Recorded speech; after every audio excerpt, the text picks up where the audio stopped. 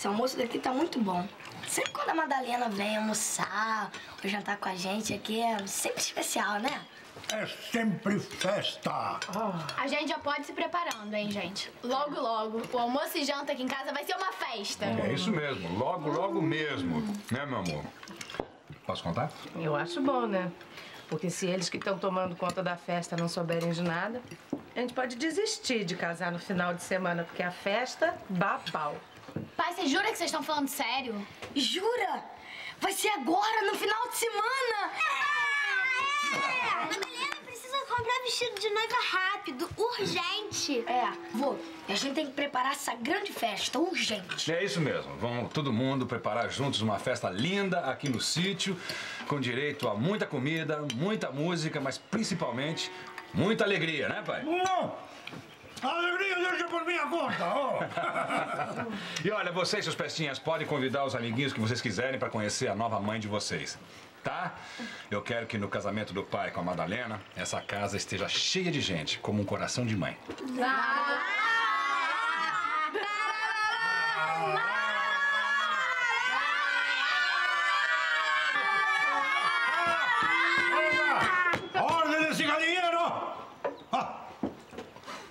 Bom, eu acho que esse momento merece um brinde, né? Eu acho que, nesse momento, devemos levantar os olhos para o céu e agradecer a Deus que, finalmente, o meu Álvaro e a minha Madalena vão se unir e essa família vai voltar a ser completa outra vez, né? E, se Deus permitir, do mesmo jeito que cada praguinha dessas tem uma árvore que a gente plantou quando eles nasceram, eu espero ver muitas árvores crescer aqui, não?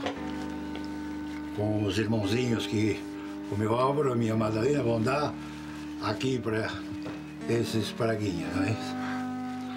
E quero agradecer a ele também e pedir que faça crescer essas árvores, essas crianças e crescer também este paraíso, esse pequeno paraíso que ele nos deu para viver.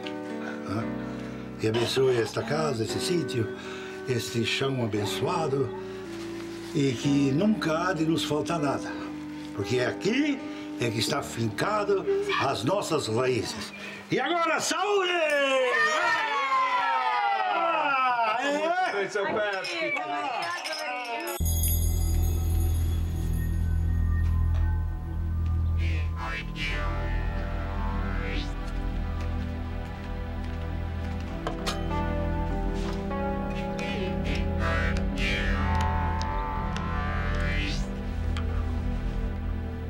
Horácio! Horácio! Telefone! Telefone pra mim? É! Ou não? Vem. Alô? Alô, Horácio? Sou eu, Bruna. Horácio, para de falar um pouco e me ouve. Alô? Escuta, é. Bom, é que ontem, quando você esteve lá no escritório, eu estava muito ocupada e não pude te dar atenção.